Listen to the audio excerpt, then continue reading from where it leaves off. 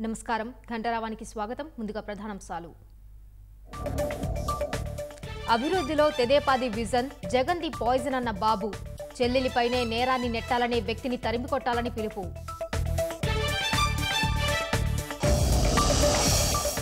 ఐదేళ్ళ సంక్షేమ పాలన చూసి ఓటేయాలన్న సీఎం జగన్ మహిళలందరూ ఓటనే రాఖీని కట్టాలని అభ్యర్థన.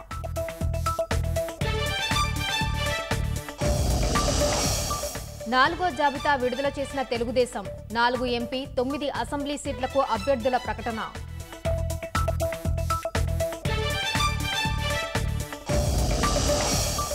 ప్రభుత్వ ఉద్యోగులు ప్రచారంలో పాల్గొనకుండా చూడండి.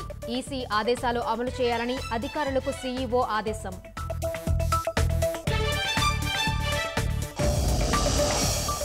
డిజిటల్ విభజనను దేశంలో అనుమతించబోనన్న ప్రధాని మ్యాజిక్ టూల్గా ఏఐ వాడితే తీవ్ర పరిణామాలని హెచ్చరిక.